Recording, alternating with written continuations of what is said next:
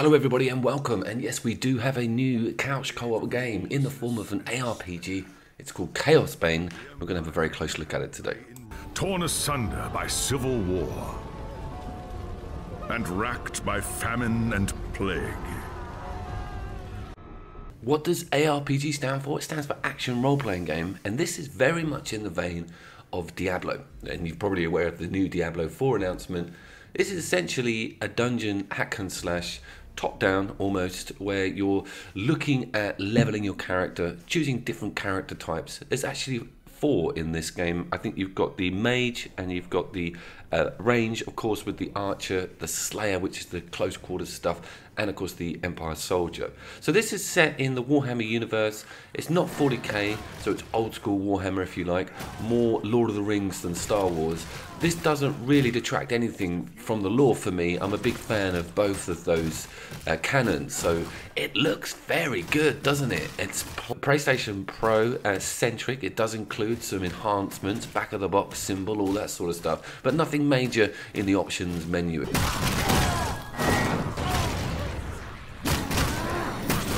The game is retailing at full price. This is a full price AAA game, and it came out about three weeks ago. It was also out in multi platform, out on the PC as well, but I didn't clock that it was actually full blown couch co op. It's four player couch co op, uh, and this has got two player on it, this particular video. I will look into how the four player works, but I'm interested because recently we had Borderlands 3, which was probably one of the most famous split screen games on the platform, and it didn't really perform very well. It, they kind of didn't really take us guys into consideration.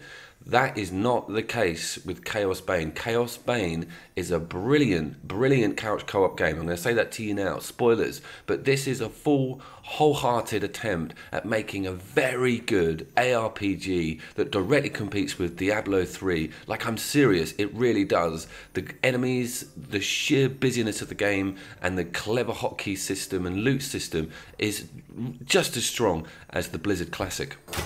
So the setup is that player one sets up the quest, and player one has their stats and their level, etc.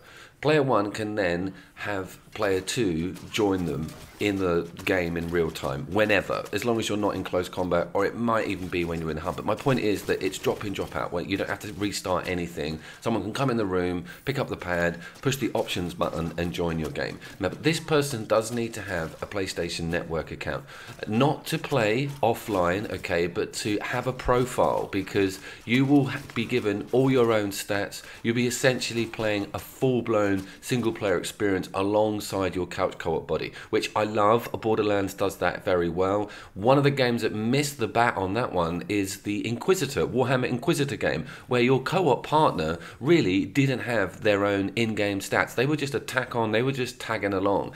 This game, no, fully fledged everything. You get to play two games alongside each other essentially. Now the camera works quite well, you can't move it around, but one of the things that is done beautifully is enables you to access your inventory completely not hindering the other player. So you can see that your stats and stuff, they don't take up the whole screen and it's also done on the fly. And a stroke of genius is that when you're looking at your inventory, i.e. when you're idle and your other player is walking around, you'll automatically follow them.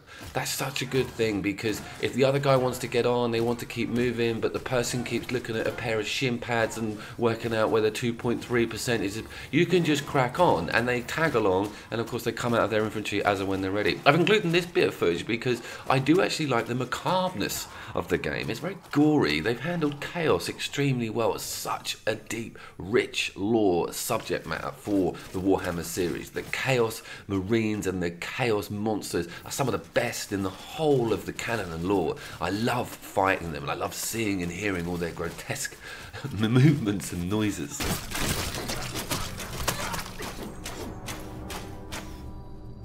Set pieces and environments, I think, are probably the game's strongest area. They haven't held back on making the open in sewer levels and some of the open air levels look so detailed on the rock and the formations and the interior architecture, this aged, dank look that they've given the whole game itself.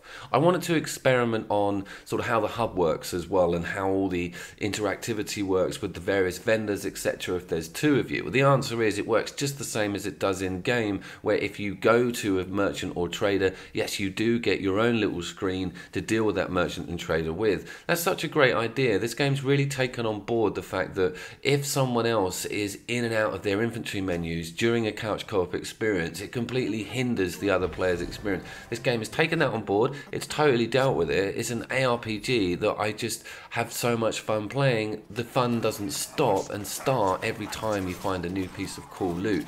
Diablo was a bit guilty of that. You had to just keep looking at that wheel and keep going in and out. With this, it's it's very slick, very quick. Now have a look at the bottom of the screen and you can see that we've got the hotkey slots here. Uh, the other player is not as high rank as me so they're still opening up some of their slots which is really cool and that's a major draw for ARPGs for me is getting or finding a new weapon and new ability and then going to it on the hotkey or setting it into your own order. All of the hotkeys on all of the specials can be tailored to a particular key that you want that to be uh, appearing on. You know the deal. You start off with X and you don't want want to, you know, start moving that around. You have a routine, and the game respects that. It's very, very cool in that direction. So some of the problems with games like this is what I call getting run off screen, which means that if the other player doesn't really clock that you're on the edge of the screen and they start pulling away from an enemy, the camera will leave you deserted, you know, and so you have to operate with that parameter, that squared parameter screens area that you're given with. Some ARPGs or some games of this structure visually would pan in and out, and I'm quite surprised that the other analog stick doesn't offer an angle change or a pan in and pan out. That would be really nice to be able to go and drill into some detail and look at all these really gruesome deaths and blood and stuff. I think the animations on some of the dying and some of the gore is top notch. I'm also quite impressed with the variation on environment and how sort of out of the box they've gone with making this game look pretty slick when it comes to venturing around the various dungeons and maps, etc. So is the game worth getting single player? Is this game worth getting if, if yeah, you do have someone to play with, but it's not going to be, you know, a frequent thing? The answer is a resounding yes. The this is going right up against Warhammer Inquisitor Martyr, and what I'll say about the two games is that both of them have a very strong single player experience. Martyrs is slightly more applicable for me because of its 40k universe and because its future weaponry, military aspects, and amazing guns, grenades, explosions, machines, aliens, that sort of stuff. This is also applicable to me because I am a big fan of ARPGs, Pillars of Eternity, all that sort of stuff. I don't actually mind them. Some people find them a bit samey, you know, if you're playing on a PC, all that clicking and just doing the same thing over and over again. But if the scaling's right, if the leveling up's right, if the unlocks are interesting enough, if the weapon upgrades are, are that changeable and that dramatic, then it pulls you through because you're like, I can't wait to rank up, I can't wait to find out, you know, what move I'm going to have on this button and if there's some cool armor sets around the corner, etc. There's quite a lot of variation on the actual weapon type for the Marine guy as well. I managed to get a hammer for him, which had huge stats and changed my sort of swing timing and everything. It was very, very good. Now, one thing to watch out for is so I did two sets of playthroughs. I did a playthrough from the beginning. We both went from the beginning, and then I did a playthrough with my high rank character, who's around 15, 16. I say high rank, 15, 16. Now, I thought that the loot would scale to eh, both of us, but it and the enemy types, i.e., I don't know, there'd be some middle ground. I think we've been quite spoilt in this direction because Borderlands is so advanced at handling that loot scaling thing and allowing the other player to have applicable drops when they're in a high rank. It doesn't do any of that. You, if you bring someone low ranked into your high rank game, they're screwed. I'm serious. They, their hits won't affect any of the enemies, and all of the loot drops would be a rank 17. You can see here that they couldn't pick up any of the drops because they were in a game that they were totally out of sync on. That's you know to be expected. So just bear in mind if you're going to play this game, have a single player character that you muck about with and then have a co-op character that you're going to use. So I'm going to close off here. Oh yeah, by the way, I completely forgot. Check this out. Martyr's got Eldar in it now. I fired it up on the PC. It's been patched and these new races have been added. And you know who else has been added? Tyranids. Revel in carnage, Inquisitor.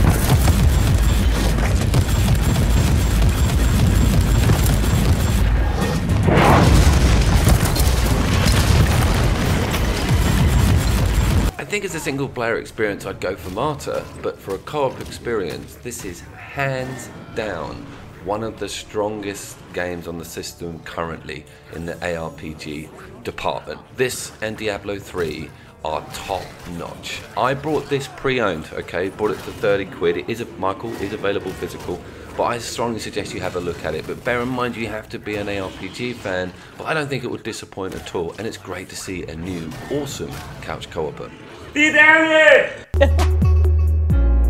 I'm really old fashioned. I always think a guy should pick you up and pay for dinner and 99.9% of bricklayers are men.